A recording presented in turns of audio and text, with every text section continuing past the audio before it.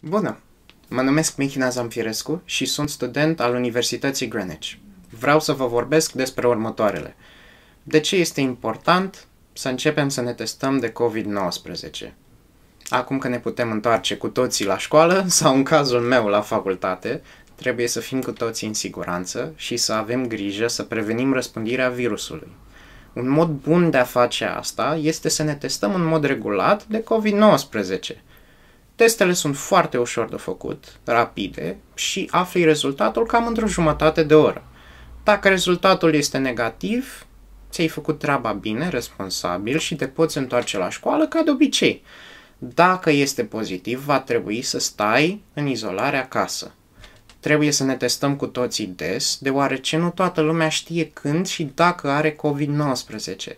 Există și oameni asimptomatici care nu prezintă simptome și îl pot răspândi fără să-și dea seama.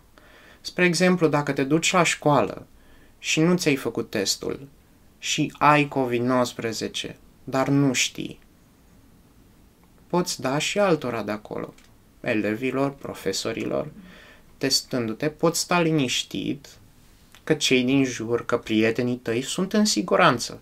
Școala vă va pune la îndemână teste pe care le puteți face la voi acasă, de două ori pe săptămână, singuri.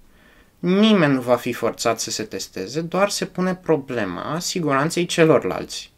Aici intervine și cea mai importantă parte, și anume că avem nevoie de consimțământul părinților sau îngrijitorilor voștri că vă puteți testa.